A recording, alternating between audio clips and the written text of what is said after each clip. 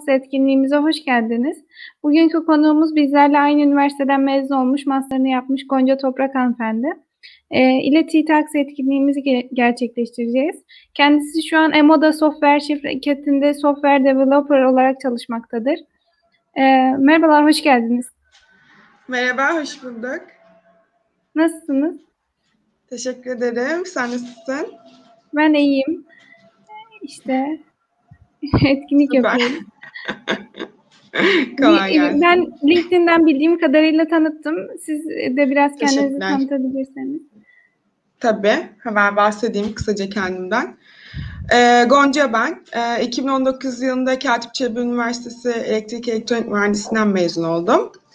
Ve sonrasında hemen yüksek lisansıma başladım. Ee, yine Katip Çelebi'de. Fakat bir süre sonra Demokrasi Üniversitesi'ne yatay geçiş yaptım. Şu anda Demokrasi Üniversitesi'nde hem yüksek lisansımı yapıyorum hem de e, EMO'da yazılımda yazılım geliştiricisi olarak çalışıyorum. Ee, hem çalıştığım şirkette hem de yüksek lisansımda makine öğrenmesi, görüntü işleme ve karar destek sistemleri üzerine çalışmalarımı sürdürüyorum. Şu anki iş durumunuz nasıl? Peki koronavirüs sürecinde bildiğiniz üzere uzaktan e, olarak gidiyoruz. Ee, şu anda biz uzaktan çalışmıyoruz, ofiste çalışıyoruz. Ben e, ofise gidiyorum, Bostan Nergis tarafında ikinci ofisleri var. Ben orada çalışıyorum şu an. Ee, yakından ofiste beraber hep beraber çalışıyoruz. Yine tabii ki Çalışma tedbirler ortamınız- dahil. Peki çalışma ortamınızdan biraz bahseder misiniz? Mesela nasıl bir ortam? Ee, çalışma ortamı şu şekilde Emo'da Ee, yani böyle samimi hani bu e, aile gibi diye klişe bir tabir var ya aynen aslında o onu yaşıyorum yani onu tecrübe ediyorum şu an için. Gayet rahat bir şekilde tabii bu rahatlıktan kastım kafa rahatlığı. Ee, hani böyle bir yerde takıldığınız zaman veya yapamadığınız zaman çok rahat takım arkadaşlarıyla iletişim kurabildiğim bir ortam var. Ee, gayet güzel, samimi ve işte keyifli bir şekilde çalışmalarımızı sürdürüyoruz. Peki yani mezun olmak şimdi nasıl bir duygu? Biz lise, ortaokul, e, tüm e, bölümlerde sürekli okuyarak geçiriyoruz. Mezun olunca böyle bir boşluğa düştünüz mü? Yani bir yer bulma telaşı, kariyer hedefleri falan. Yani e, şöyle oldu benim için. Tabii ki ben de e, böyle kaygılandığım zamanlar oldu ama e, ben mezun, Haziran'da mezun oldum ben. Ağustos'ta labdaydım yani aslında böyle kaygılanmak için aşırı bir vaktim olamadı. Ben daha çok yüksek lisansa e, odaklanmayı tercih ettim.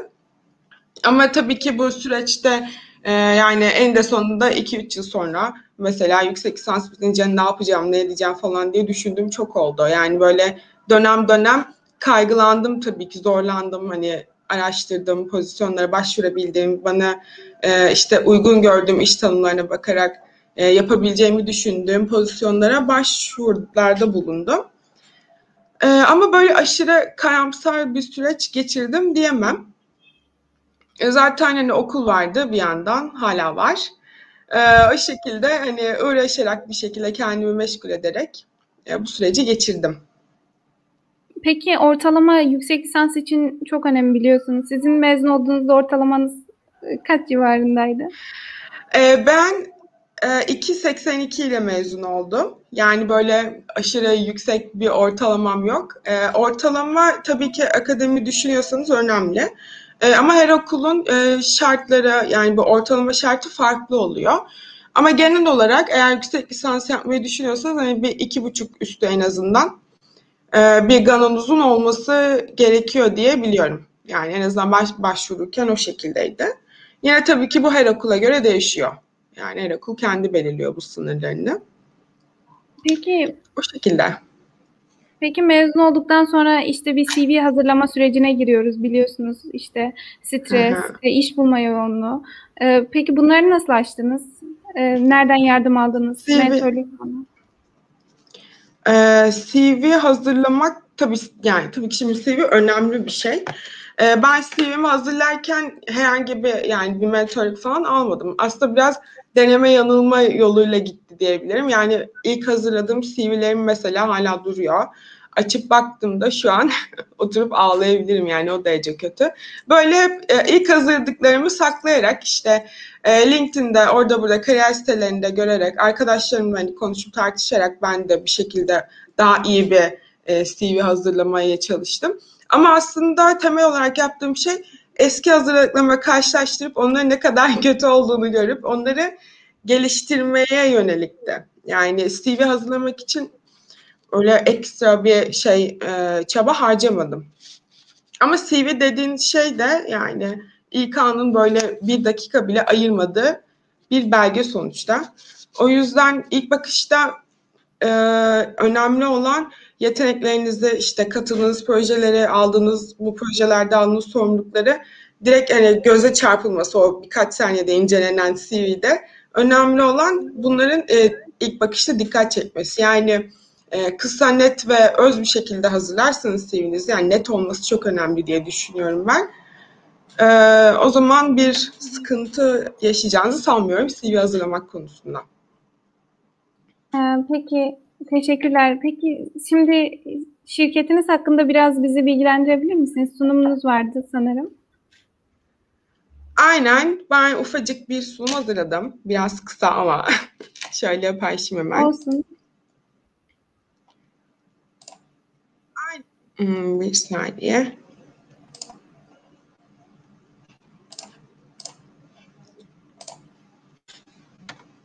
Şu anda görebiliyor musunuz? Evet. Görünüyor. Tamam. Süper. O zaman şöyle başlayalım ufaktan. E, Emo'da yazılım, e, müşterilerine sorun ve isteklerine yenilikçi teknolojilerle e, çözümler geliştirebilmek için COSGAP desteğiyle kurulmuş bir e, yazılım firması. Aslında şeyde İT'de yani İzmir Yüksek Teknoloji Enstitüsü'nün Teknoparkı'nda kurulmuş bir firma. Fakat demin de bahsettiğim gibi Bostanlı'da Nergis taraflarında bir ofisleri daha var. Ben de burada çalışıyorum. Yani Emo'da e, biz bu çalışmalarımızı e, akademiyle beraber, akademiden beslenerek güncel kalabilmek adına e, akademiyle beraber yürütüyoruz. Yani e, danışmanlarımız var, akademik danışmanlarımız var. Böyle içinden çıkamadığımız yerlerde veya işte daha önce geliştirdiğimiz üzerine daha iyi taşıyabilmek adına akademisyenlerle beraber böyle işbirlikleri yaparak işte beyin fırtınaları yaparak bir şeyler üretmeye çözmeye çalışıyoruz. Hatta Bununla ilgili de e, yine İTÜ Teknoparkı tarafından verilen e, yılın akademik işbirliği ödülünde sahibi olduk iki yıl önce. Hayırlı Peki ne yapıyoruz EMO'da E, hangi alanlarda çalışıyoruz? E, klinik kar destek sistemleri, işte web ve mobil geliştirme, görüntü işleme, masaüstü uygulamaları, yapay zeka gibi alanlarda e, yazılım çözümleri geliştiriyoruz. E, EMO'da da e, proje bazlı çalışıyoruz diyebilirim. E, daha önce gerçekleştirdiğimiz yani şu anda bitmiş olan e, iki tane COSGAP, iki tane e, TÜBİTAK projelerimiz var. Bunlar e, nasıl projeler? Mesela bir tanesi e, veterinerler için geliştirilmiş bir yazılım. E, şu anda İzmir'de yaklaşık 10 tane yanılmıyorsam e, veteriner kliniğinde aktif olarak kullanılan e, bir ürün çıktı COSGAP projesinin sonucunda. Ee, mesela TÜBİTAK projelerinden bir tanesi de e, patoloji laboratuvarları için geliştirilmiş bir tane yazılım modülü. Bu da şu an e, yaklaşık 15 tane patoloji laboratuvarında aktif olarak kullanılıyor. Şu anda da e, güncel olarak yürüttüğümüz bir tane Avrupa Birliği projemiz var. E, Avrupa Birliği projesi, yani bu proje bizim için biraz e, önemli, göz bebeğimiz diyebilirim. E, şu anda aktif olarak e, bununla ilgili e, çalışmalar yürütüyoruz. Aynı zamanda bir tane TÜBİTAK, bir tane de COSGAP olmak üzere değerlendirme sürecinde olan projelerimiz de var. Bunların da sonuçlanmasını bekliyoruz. Ee, ben şimdi size biraz e, AB projesinden bahsetmek istiyorum. Çünkü dediğim gibi biz bunu bayağı önemli görüyoruz ve e, bayağı güçlü bir proje olduğunu düşünüyoruz. Ki yani bunun aksini çok ben de şey yapamıyorum, düşünmesini tahmin edemiyorum. Ee, peki bu AB projesinde ne yapıyoruz? Aslında temel e, şeyi, projenin amacı göğüs ve kolon kanserlerinden kurtulan insanların bu tedavi sürecinden e, sonraki kısımda hayat kalitelerini bir tık daha artırabilmek için e, bir klinik karar destek sistemini geliştirilmesi. Yani bu e, AB projesi dediğimiz e, kısaca PERSIS diye adlandırılıyor. İnternet e, sitesinde inceleyebilirsiniz. E, bayağı yani oldukça büyük bir e, proje. Yaklaşık işte 10 ülkeden içlerinde işte ne var? Slovenya var, Belçika var, Fransa var, İspanya var. Ondan sonra daha hatırlayamadım diğer ülkelerden. E, araştırma enstitüleri, üniversiteler, hastaneler, işte büyük firmaların bulunduğu partnerlerle 13 tane partnerle beraber çalışıyoruz bu projede. Ee, yani bu Avrupa Birliği projesi dediğim şey Avrupa Birliği tarafından fonlanan bir proje. Tabii dolayısıyla öyle olunca e, çok büyük bir uluslararası bir proje olmuş oluyor. EMO'da yazılımda bu projede e, iki tane iş paketinin lideri, e, kar destek sistemleri ve mobil uygulama faaliyeti iş paketlerinin lideriyiz. Yani bu ne demek? Bu proje kapsamında e, geliştirilen klinik kar destek sistemi ve mobil uygulama çalışmaları bize ait. Biz yürütüyoruz şu an bu çalışmaları ofisimizde. Ee, bununla beraber diğer iş paketlerinde de aktif bir şekilde rol alıyoruz. Teknik destek sağlamaya çalışıyoruz. Yani özetlemek gerekirse e, EMO'da yazılımda proje bazlı çalışıyoruz ve e, sağlık sektörüne yönelik yazılımlar geliştiriyoruz. E, özeti bu aslında. E, bunlar da benim iletişim adreslerim. gonca.emodayazılım.com e, Gonca Toprak'ta LinkedIn profilim. İstediğiniz zaman aklınıza bir şey takılırsa veya sormak ister, istediğiniz bir şey olursa bana buralardan ulaşabilirsiniz.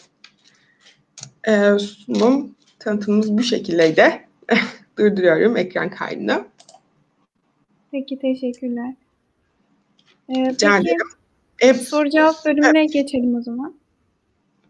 Tamam. O şekilde ilerleyelim sohbet tarzında. Olur, süper. Arkadaşlar sorusu olan e, arkadaşlarımız alt tarafa yazabilirse sohbet kısmından soruları sorabiliriz. Ben birkaç tane soru sorayım. E, staj döneminizde nasıl bir staj ayarladınız? Hangi şirkette çalıştınız acaba?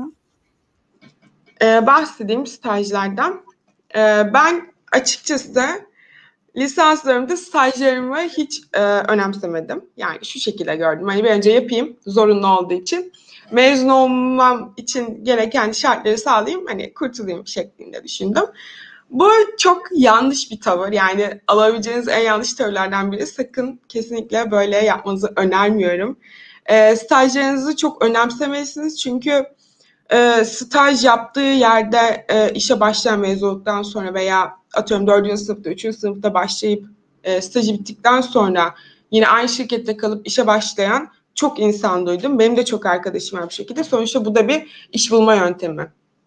Ve o yüzden e, stajlarınızı e, önemseyin yani. Araştırın, bakın e, sorun hani stajyerler nasıl e, nasıl bir program ya da nasıl bir süreçten geçiyor, neler öğrenebilirsiniz bunlar çok önemli. Çünkü yeni mezun e, olacağınız için hani CV'ye yazabileceğiniz en etkili şeylerden biri staj.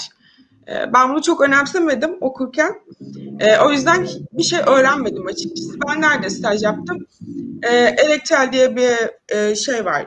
Atasanayi'de fabrika var. Bir tane stajımı orada yaptım. Bir de havalimanında devlette yapmıştım elektronik biriminde. Fakat benim için hiç faydalı geçmedi iki stajımdan. Ee, ama dediğim gibi siz stajlarınızı önemsemelisiniz. Çünkü CV'nize yazabileceğiniz yani bu aşamada en etkili şeylerden bir tanesi staj olacaktır. Yani bu staj sürecinde ne kadar ne öğrendiğiniz bunlar çok önemli diye düşünüyorum.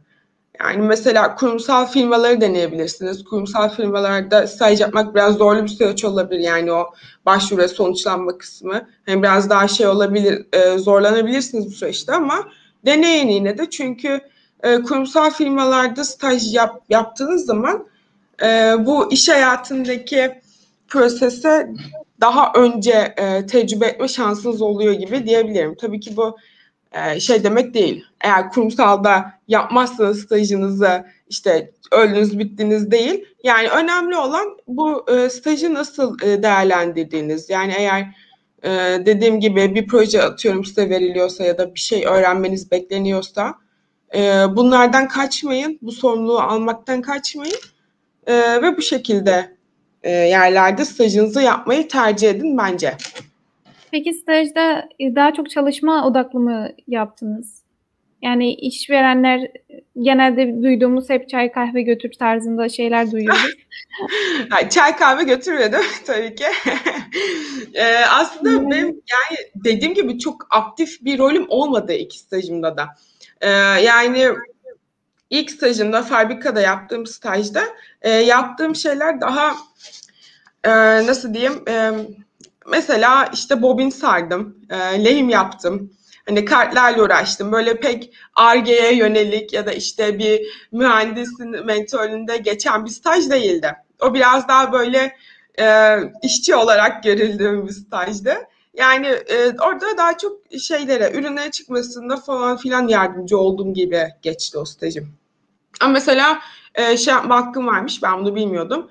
E, hani ben burada stajım yapmak istemiyorum e, deyip hani oradan çıkma hakkım varmış. Eğer bunu bilseydim mesela e, orada stajımı tamamlamazdım diye düşünüyorum. Bu tabii ikinci sınıfta falan olduğu için hani ben şey diye düşündüm hani bir yere girdim devam edeyim bitsin stajım falan diye düşündüm. Ama eğer size böyle bir tavır e, sergilenirse ben size orada kalmamanızı tavsiye ederim. Yani önemli olan dediğim gibi Evet. Önemli olan dediğim gibi bir şeyler öğrenip kendinizi geliştiriyor olmanız o yüzden. Ee, Stajı peki üniversite mi ayarladı, siz mi ayarladınız tam olarak? Hayır. Ee, stajı kendiniz buluyorsunuz. Üniversite ayarlamıyor diye biliyorum. Ee, üniversite sadece sigortanızı karşılıyor ama stajları ben kendim buldum. Hmm, yani üniversitede de yapılabiliyor mu üniversitenin birimlerinde? Ondan emin değilim ama bazı birimlerinde e, yapılabiliyor diye bir, bir şey kalmış aklımda onu araştırabilirsiniz belki ama üniversitenin size staj ayarlama gibi e, bir durumu yok. Yani öyle bir sorumluluğu yok. Anladım. Chatten e, sorulardan devam edelim o zaman. E, yapay zekanın sizin için geleceği nedir? E, TC'deki geleceği var mıdır? E, teşekkürler diyor. Türkiye'deki geleceği var mıdır? Ee, yapay zekanın benim için geleceği nasıl? Yani benim e, çalışmak istediğim zaten ben bunu seçtim lisanstayken. E, çalışmak istediğim, kendimi geliştirmek istediğim alan bu. O yüzden benim için geleceği kendi geleceği gibi bir şey olmuş oluyor. Yani nasıl bir soru, nasıl bir cevap verebilirim bilemedim. Türkiye'deki geleceği de zamanla yeri artıyor diyebilirim. Yani sonuçta sektörde e, çoğu firma kurumsal olsun olmasın bu alana yönelmekte diye biliyorum. En azından e, hani projelerini ya da daha önce geliştirilmiş ürünlerin hani böyle bir e, kısmına yapay zekayı dahil etmek istiyorlar ve bu yönde çalışıyorlar diye biliyorum. E, şu an Türkiye'de belki aşırı yaygın olmayabilir. Yani e, tabii ki yapılan çalışmalar var. E, mesela kurumsal firmaların genelde ana merkezlerinde yürütülüyor diye biliyorum bu tarz çalışmalar yani yapay zeka ile ilgili. Kurumsal firmalarda ya da startuplarda da dediğim gibi e, şey e, ne onun adı? Çalışma alanlarına ve sektörlerine bağlı olarak e, pozisyonları bulabilirsiniz, fırsatları bulabilirsiniz diye düşünüyorum. Teşekkürler. Peki, teşekkürler. Ee, bir e, soru sormuş. Kendimiz staj yeri bulamazsak nasıl oluyor diye. Yani üniversite herhangi bir destek falan veriyor mu diye anladığım kadarıyla kendinize stajyeri bulamazsanız e, okul mezun olamazsınız diye düşünüyorum. Okulun e, böyle bir şeyi yok. Yani öyle bir yol izlemiyorlar. Sen staj bulamadın sana staj ayarlayacağım gibi bir durum söz konusu yok. E, zaten e, bildiğim kadarıyla bu şirketlerinde belli bir stajyer alma kotası ve zorunluluğu gibi bir durum var. Hani staj bulamama gibi bir durum yaşayacağınızı çok sanmıyorum o yüzden. Ee, ama staj bulup bulmamaktan siz sorumlusunuz. Yani okulun sizi en fazla hocalarınız belki bir yerlere yönlendirebilir, bazı firmalara yönlendirebilir. Onun dışında okulun böyle bir şeyi yok. Ee, yani yürüttüğü bir süreç yok. Size staj bulacaklarını ben sanmıyorum ama eğer zor durumda kalırsanız hocalarınıza danışabilirsiniz. Onlar sizleri bir yerlere yönlendirebilir belki. Peki. Ee, Hanife Tosunoğlu sormuş. Ee, okurken hangi yazılım dillere yönelmemizi istersiniz, e, tavsiye edersiniz diye.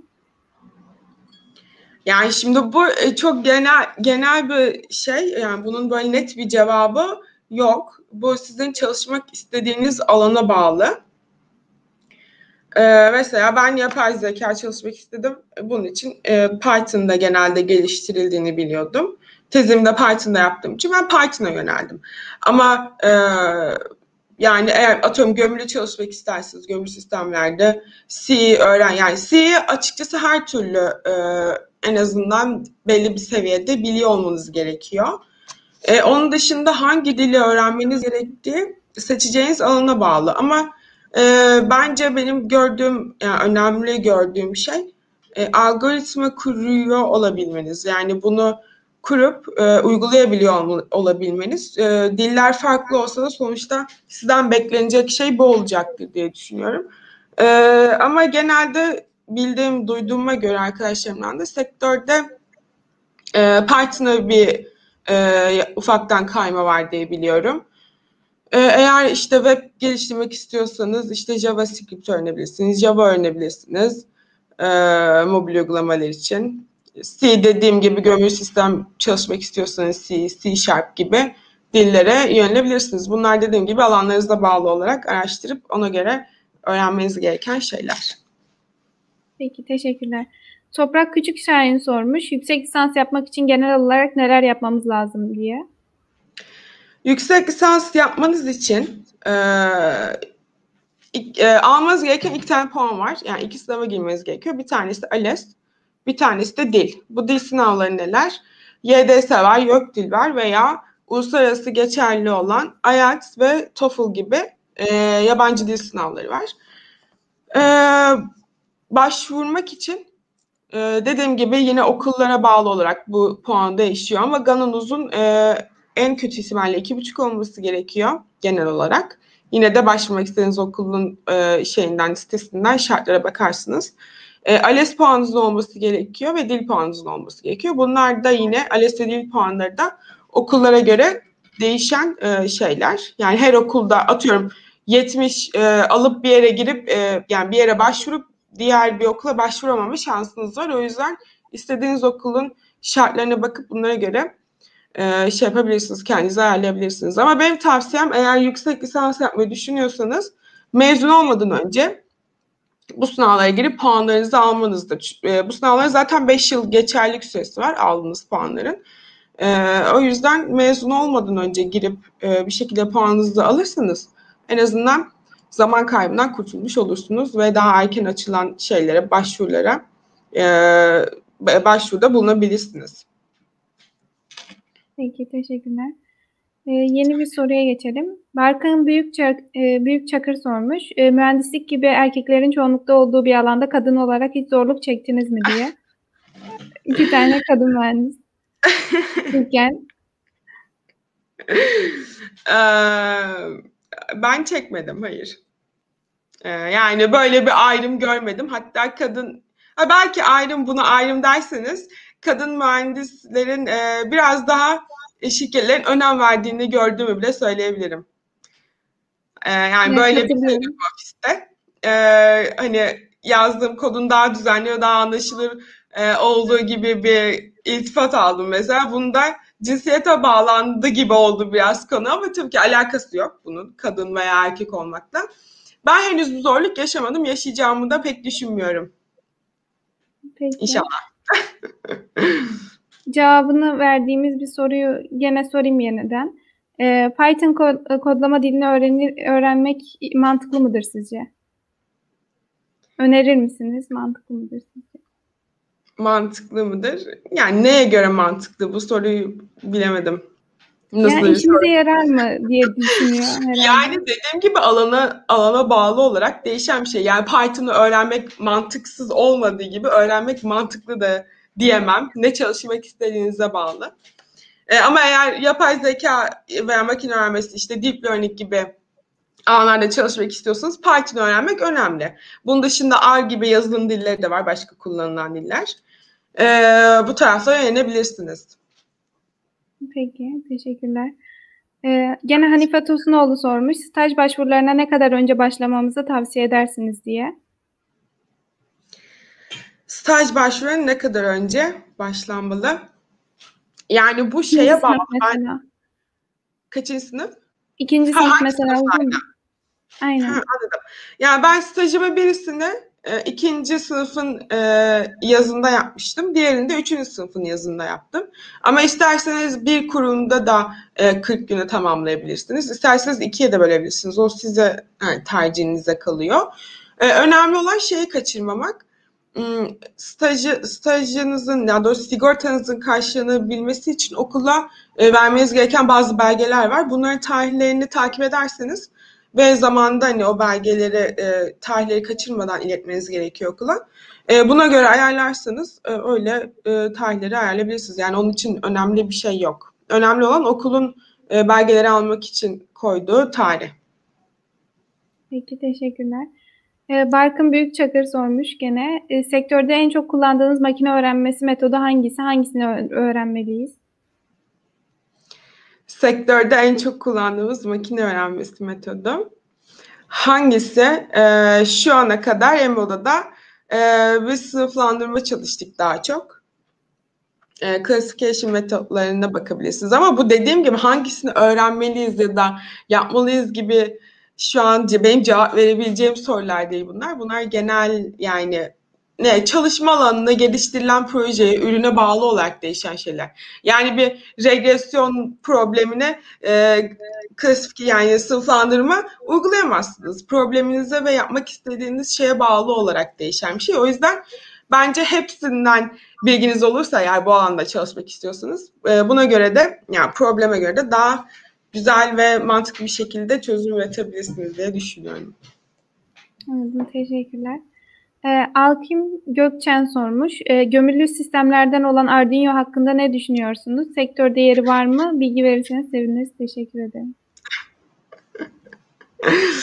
gömülü sistemlerden ben e, gerçekten ben, yani pek hoşlanmıyorum. Pek e, bilgim olan bir alan değil. Ama Arduino'nun sektörde çok yeri olmadığını duydum. Ee, öyle biliyorum daha doğrusu. Yani Arduino biraz daha şey kalıyor. E, hani eğitim yani lisans seviyesinde kalıyor gibi biliyorum. Onun dışında Raspberry Pi ve e, işte STM32 gibi kartlar var yanlış hatırlamıyorsam. E, genelde sektörde e, bu şeyler e, kartlar üstünden çalışılıyor diye biliyorum ama tabii yanlış bir şey de söylemek istemem çünkü pek bildiğim bir alan sektör değil açıkçası gömülü sistemler. Peki teşekkürler. E, no Name sormuş. E, bölüm çok zor diyorlar. Bölümü kaç senede bitirdiniz? Bölüm gerçekten zor. E, ben 4 senede bitirdim. E, hazırlığı okumadım. E, yani atlamıştım şeyde, muafiyette. E, 4 sene içinde de bitirdim. Yani herhangi bir uzatma durumum olmadı. Ama bölüm gerçekten zor. E, yani hani böyle adım adım e, zorlaşan bir bölüm değil. Birden mesela birden bir sınıftan iki sınıfa geçtikten sonra ben dedim ne oluyoruz? İkiden önce geçtikten sonra aman dedim yine ne oluyoruz? yani öyle bir şey yok. Seviye seviye zorlaşmıyor gerçekten. Birden çok zorlaşıyor. Zor gerçekten ama e, çalışıldıktan sonra yapılmayacak hiçbir şey yok. Dersleri o yüzden aşırı hani böyle gözünüzde büyütmenize gerek yok diye düşünüyorum. Peki. Bir de ben soru sorayım. Ee, birazcık da bitirme projesi hakkında konuşalım. Yani ne bir, nasıl bir proje hazırladınız bitirme projesi için? Ee, şöyle, e, ben bitirme projemi TÜBİTAK 2209B yanlış hatırlamıyorsam projesi olarak yaptım. Ee, benim zamanımda belki yeni projeler, çağrılar açılıyordur şu an onun hakkında bir fikrim yok ama e, ben lisanstayken e, iki tane TÜBİTAK'ın e, lisans bitirme tezine yönelik açtığı programlar vardı. Biri 2209A, birisi 2209B. E, A projesi şöyle, e, daha akademiye yönelik e, teorik bir çalışma gerçekleştiriyorsunuz. E, B projesinde de sektörle beraber yani bir firmayla beraber ortak bir çalışma gerçekleştiriyorsunuz. Bu e, ortak olduğunuz firmanın e, bir ihtiyacına yönelik e, bir şey yapıp e, tezinizi ona göre e, bitirmiş oluyorsunuz. Benimki de B'ydi. B projesiydi. E, 9 Eylül'ün e, Teknopark'ında işte Depark'ta e, olan bir şirketle beraber yapmıştım ben tezimi, bitirme tezimi. E, ne yapmıştık? E, bu e, elektrik sayaçları için e, yapay zeka tabanlı bir modül geliştirmek istiyorlardı. Böyle bir şeye ihtiyaçları varmış. Benim tezim de buydu açıkçası. E, yani TÜBİTAK B işte 2209B projesi olarak yaptım ki ben bunu e, oldukça önemli görüyorum. Yani sanırım bildiğim kadarıyla e, çoğu hoca artık bunu e, şey yapıyor, e, şart koşuyor gibi demeyeyim ama e, Katip Çelebi de bunu e, çoğu yazmak istiyor diye biliyorum en azından bitirme öğrencileriyle. Bu bence gayet e, güzel, büyük bir avantaj. Çünkü ben işe başladığımda fark ettim. Yani bu e, TÜBİTAK proje sürecinde e, tahmin etmediğim kadar çok şey öğrenmişim ki iş iş hayatında herhangi bir problem, e, adaptasyon gibi bir şey zorluk yaşamadım. Çünkü bu yani eğer tezinizi bu tarz şeylerde yaparsanız yani TÜBİTAK projesi gibi e, proje altında yaparsanız bu süreçleri e, birebir tecrübe ettiğiniz için yani e, şey daha önceden e, öğrenmiş oluyorsunuz. E, tabii ki bu da iş hayatında olan adaptasyonu kolaylaştırıyor. Çünkü isterseniz kurumsal, isterseniz işte daha küçük çaplı startuplarda veya şirketlerde çalışacağınız zaman yine e, içinde olacağınız süreç hemen hemen aynı ve benzer olacak. O yüzden ben eğer böyle bir fırsatınız varsa kesinlikle e, tavsiye ediyorum. TÜBİTAK A ya da B o size kalmış. Size ve danışman hocanıza kalmış bir şey. E, bu proje e, kapsamında yapabilirsiniz tezinizi. Aynı zamanda mesela ben e, konferans bildirisi de yazmıştım. E, bu tarz şeyleri de deneyebilirsiniz. Özellikle akademi isteyen arkadaşların lisansı bitirmeden önce yayın yapması e, bir tık önemli olabilir diye düşünüyorum. E, ayrıca keyifli de oluyor konferanslara gitmek. Ee, hani orada bir çalışma yapmışsınız, yazmışsınız, kabul görmüş, onu sunuyorsunuz. İşte akademisyenler, iş adamları falan oluyor. Bu şekilde network'ünüzü de genişletebilirsiniz.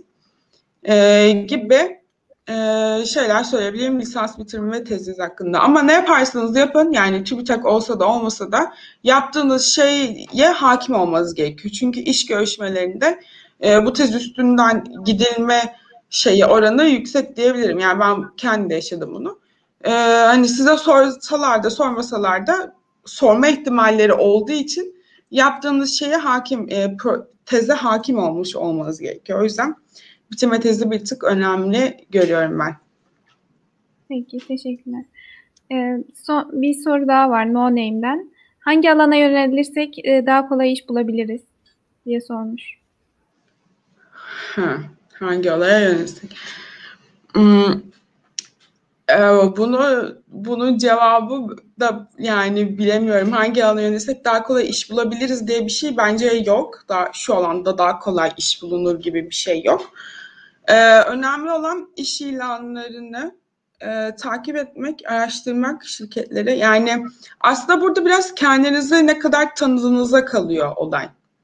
Yani böyle iş bulmak için önünüze gelen her ilana başvurursanız ve e, bu şeylerden olumsuz dönüş veya dönüş almazsanız bu sizi hani bir tık böyle karamsar edebilir. İş bulamıyorum e, şeyinde bulamayacağım kafasına girebilirsiniz ama yani burada dediğim gibi kendinize e, tanıyıp e, kendinize yapabileceğiniz düşündüğünüz e, pozisyonlara başvurursanız e, her türlü daha kolay iş bulabilirsiniz hangi alanda olursa olsun. Önemli olan şeyin, pozisyonun e, sizin yeteneklerinizle ne kadar bağdaştığı diye düşünüyorum. Alanın çok önemli olduğunu düşünmüyorum bu konuda. Peki. Ee, bir soru daha var. Ee, mezun olduktan sonra ne kadar süre sonra iş buldunuz diyor. Ee, ben 2019'da mezun oldum. Ee, işe başlayalı da birkaç ay oldu yani bu yıl. Yani yılbaşına başladım işe. 2000 yani bir yaklaşık bir, bir buçuk yıllık bir sürede bulmuş oldum işi. Hmm, yani böyle çok aktif olarak işte bir buçuk yıldır mesela sürekli her gün iş arıyordum gibi bir şey diyemem. Yani biraz bu işlerde şans aslında. Ee, yani düzenli olarak ilanları takip ettim ben mesela. İşte şey e, iş tanımlarına bakarak işte yapabileceğimi düşündüğüm ilanlara başvurdum falan hep bu şekilde ilerledim. E tabii ki benim de görüşmelere gidip reddedildiğim oldu, cevap alamadığım oldu. Hani hala başvurup görüşmeye gidip hatta görüşmemiz çok iyi geçmişti. Bir yıl olacak yani yazın gideli. Hala ne olumlu ne olumsuz herhangi bir geri dönüş yok. e, bu tarz şeyler yaşanıyor. Bunları yaşadığınızda e, şey diye düşünmeyin bir tek benim başıma geliyor gibi değil. Bunlar maalesef biraz e, çok yani yüksek oranda yaşanıyor diye gördüm ben de. E, o yüzden yani her türlü karamsarlığa girmeyin diyorum. Bırak, bırakmayın, araştırın, bakın. Kendinize, yeteneklerinizi iyi keşfedin. Bunlar çok önemli şeyler iş bulma sürecinde. Ee, bu şekilde. Peki ben bir soru sorayım o zaman. Akademik olarak devam etmek mi yoksa özel şirkette çalışmak mı sizce? Ya da devlete girmek de olabilir. Yani e, ben şöyle düşünüyorum. Mesela hep yani lisansta da işte düşündüğüm buydu.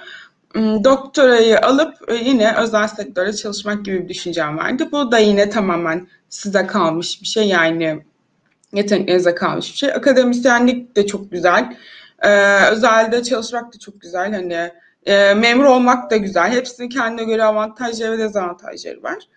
Ee, ama benim izleyeceğim yol yani ben biraz daha böyle bir de garantici olarak düşünmek istedim hani lisanstayken. Doktoramı da alayım. Belki hani özel sektörde yapamazsam edemezsem hani akademiye geçme şansım olsun veya işte akademisyen olursam özel sektöre geçme şansım daha artsın, kolay olsun gibi düşünerek biraz daha böyle e, garantiye alarak düşündüm ben. E, lisanstayken bu şekilde bir yol izlemeyi tercih ettim ama dediğim gibi yine bu sizin yeteneklerinize ve hayatta ne istediğinize nasıl bir kariyer çizmek istediğinize bağlı olarak değişiyor. Peki teşekkürler. O zaman bir soru daha var. Ee, maaş beklentiniz ne sorusuna ne cevap verirsek daha iyi olur diye sormuş.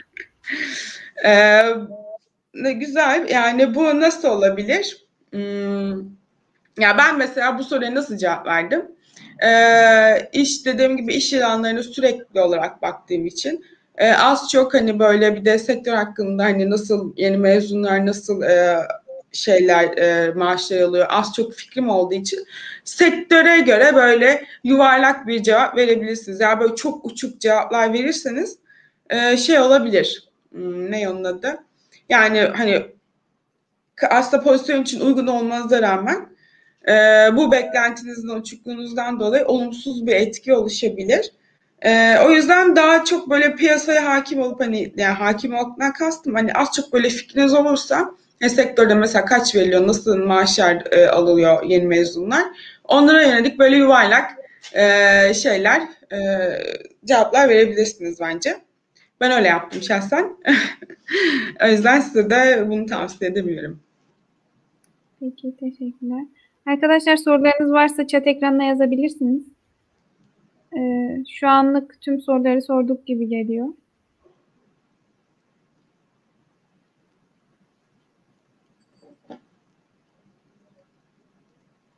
Biraz bekleyelim.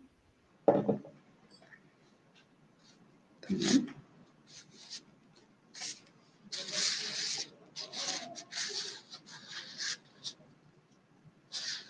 Peki bölüm nasıldı? Bölüm hakkında biraz konuşalım. Ee, bölüm nasıldı? Zorluk e, açısından mı? Evet, Zorluk yani. açısından dediğim gibi zordu. Yani ben çok zorlandığım zamanlar oldu. Özellikle üçte, üçüncü ve dördüncü sınıfta. Yani kolay bir bölüm değil. E, bitirmesi, okuması gerçekten zor. Ee, ama e, şu şekilde bence en azından elektrik elektronik bitirdiğiniz zaman e, bir alanla yönelmeniz gerekiyor sonuçta iş hayatı için. Bunun için çok seçeneğinizin olduğunu düşünüyorum. Ben yani o şekilde de düşünerek tercih etmiştim zaten. Ee, şey zamanı lisede işte o tercih zamanı. Ee, yani en azından size yani her yerde geçerli olan bir bölüm diye düşünüyorum. Ee, öyle görüldüğünü duydum yani en azından. Ee, ama zor yani kolay dersem size yalan atmış olurum. Gerçekten zor biraz. Ee, biraz özveri isteyen bir bölüm. Ama Peki. güzel olur inşallah hepiniz için. Okul yıllarınızda hiç unutmadığınız bir anınız var mı? Yani şu anım vardı. Okul yıllarında unutamadığım bir sürü anı var. Bunların hepsi de e, proje şeyleri, zamanları, dönem projeleri yetiştirmeye çalışıyorlar, yapamamalar işte falan. Yani aslında okul yıllarımı dair hatırladım işte unutamadığım zamanlar bunlar. Yani çok aşırı zorlandım mesela. Ee, kolay değil dönem projeleri okurken çok zor geliyordu. Mesela e, mikro işlemciler dersi belki aranızda almış olan ya da bilen vardır. Ee, beni gerçekten lisans hayatımda en çok zorlayan dersti. Ee, onun mesela proje hazırlık süreçlerini işte sınavlara çalıştığımız dönemleri falan şey yapamıyorum yani atlatamıyorum. o kadar zorlanmıştım. Ee, ama onun dışında öyle çok e, ekstrem bir üniversite lisans hayatım olmadı. O yüzden unutamadığım anılar bu çektiğim şey zorlandığım zamanlar diyebilirim. Peki ders çalışma yönteminiz var mıydı? Yani böyle bir şu kanallara girin bakın diye bileceğiniz. Ee, ben e, yani e, kanallar derken düşünüyorum. Ben çok böyle internetten kanal üstünden çalışmadım. Yani genelde işte derslerde not alıp e, hocaların işte önemli gördüğü yerleri özellikle not alıp hani çok düzenli çalıştım diyemem. Yani biraz daha böyle son dakikalarda e, işte çalışarak götürüyor. Yani benim hani hep ama çalışma tarzım buydu yani lisede de, ortaokulda da, işte üniversitede de böyle oldu. Yani böyle açıp YouTube'dan işte şey e, kanalları sürekli düzenli olarak takip ettiğim kanallar yoktu. Daha çok ben ders yönelik hani not yani düzgün not tutarım hep her zaman. E, derslerde düzenli not tutarak bu derslerdeki işte notlarından, slaytlardan, işte ders kitaplarından e, yazarak çalışıyordum genelde. Yani benim e, daha anlama şeklim yazmak olduğu için, yazarak çalışmak olduğu için. E, o yüzden önerebileceğim e, bir kanal, aklıma kanal deyince sadece Neso Akademi geldi. E, Logic zamanlarında. e, oradan çok yardım almıştım. E, ikinci sınıfta. Onun dışında böyle e, dediğim gibi söyleyebileceğim bir kanal gelmiyor aklıma. Çünkü çok kanalları takip ederek çalışmadım ben de. Peki, teşekkürler. Ee, sorusu gelmiş Furkan Elmaz'dan. Ee, evet. Ben yapay zeka ve Android programlama öğrenmek istiyorum. Nasıl bir yol önerirsiniz? diye sormuş.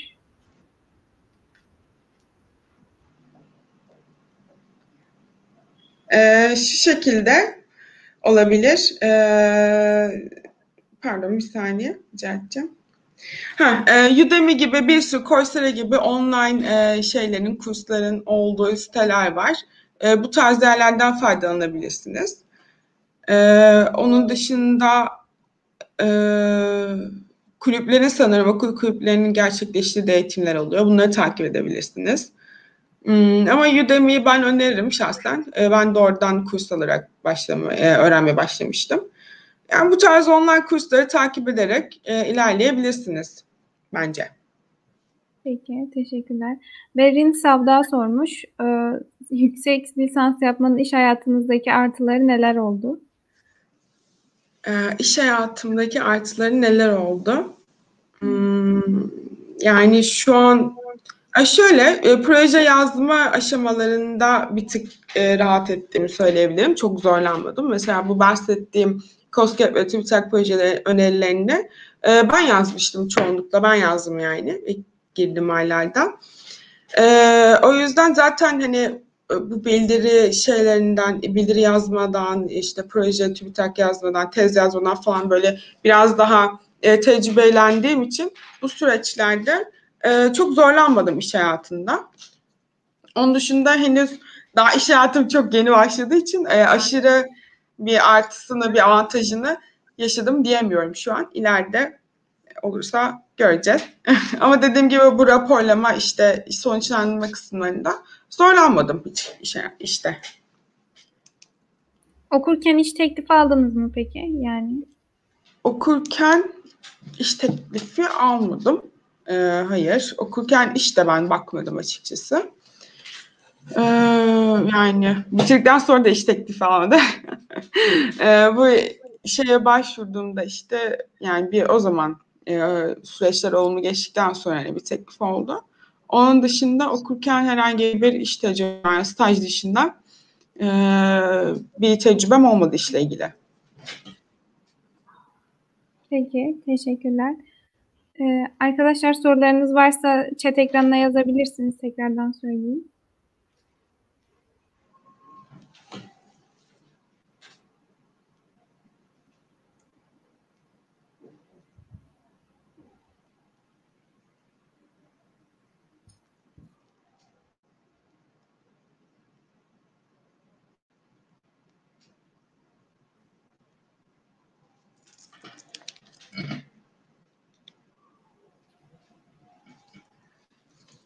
Barkın Büyükçakır sormuş. Okulumuzdaki hocalar yapay zeka konusunda yeterli mi sizce? diyor.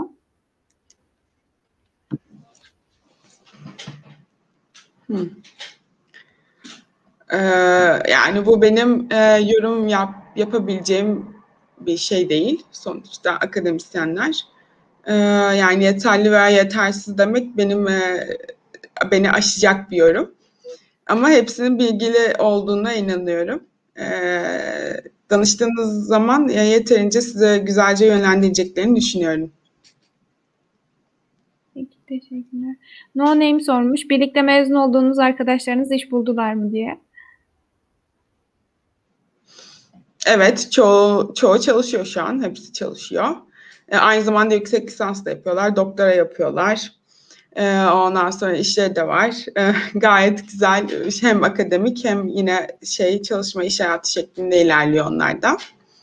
Ee, zaten bizim dönemimizde yani beraber mezun olduğum dönem arkadaşlarım, sınıf arkadaşlarım çoğunluğu takip ettiğim gördüğüm üzere şu anda çalışıyor. hani o yüzden e, iş bulma oranını yüksek görüyorum ben mezunların. Ee, yani bu şekilde gördüm. Arkadaşlarımın hepsi de dediğim gibi çalışıyor, yüksek yapıyor, doktora yapan da var. Bu şekilde. Peki. Mezun olduktan sonra okulu özlediniz mi? Hangi yanlarını özlediniz? ee, yani çok özleme şansım olmadı çünkü zaten okuldaydım mezun olduktan sonra da.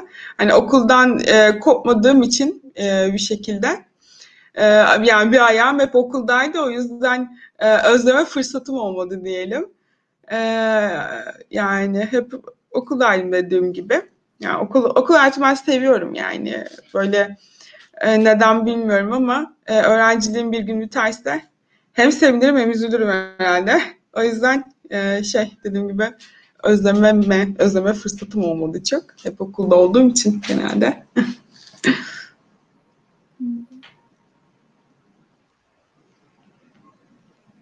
Evet arkadaşlar sorularınızı sorabilirsiniz konuşmacımıza.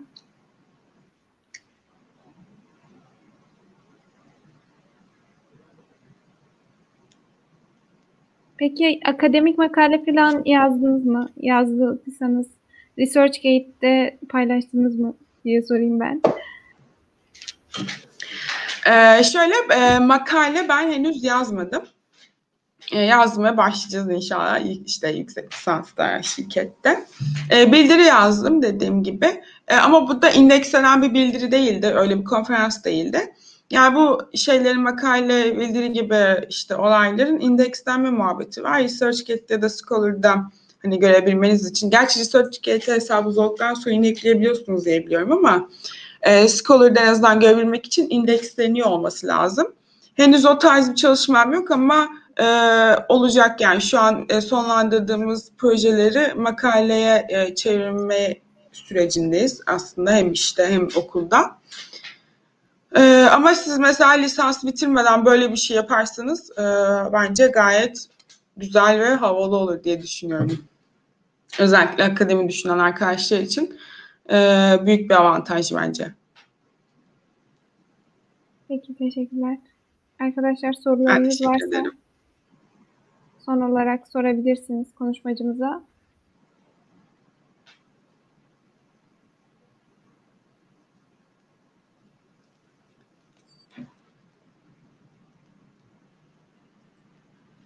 Yeni soru gelmiyor.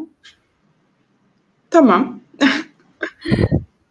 o zaman e, etkinliğimizin sonumuza geldik arkadaşlar. Konuşmamıza teşekkür ederiz tüm ben e, verdiği bilgilendirici konuşmalar için. En azından stresimizi ve kaygımızı biraz azaltmış oldu. O zaman. Süper. Teşekkürler. Ben teşekkür ederim. Dediğim gibi e, mail adresinden ve LinkedIn profilinden istediğiniz zaman bir şey danışmak isterseniz, sormak isterseniz ulaşabilirsiniz. Teşekkür ediyorum tekrar davetiniz için. Çok sağ olun. Görüşürüz. Hoşça kalın. O zaman. Görüşürüz.